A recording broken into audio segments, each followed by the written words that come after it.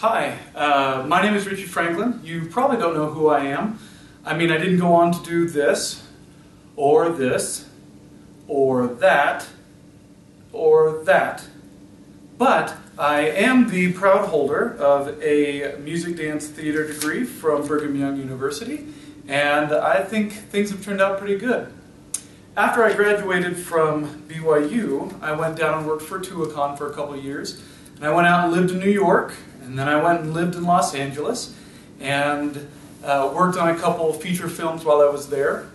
Then I came back to Utah, and uh, while I was applying for grad school in film, I met this cute little redheaded girl and uh, decided that an out of work actor probably wasn't the best thing to tell her uh, retired FBI father.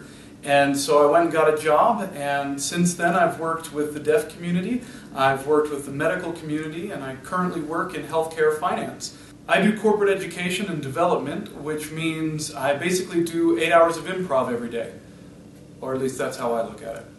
I build and deliver the curriculum, which I think is a great fit for having a degree in musical theater. I do still have an agent and a current headshot and resume. You may occasionally see me pop up in local Utah commercials. Again, my name is Richie Franklin, and even though I don't go to the theater every night, I do get to come home to this.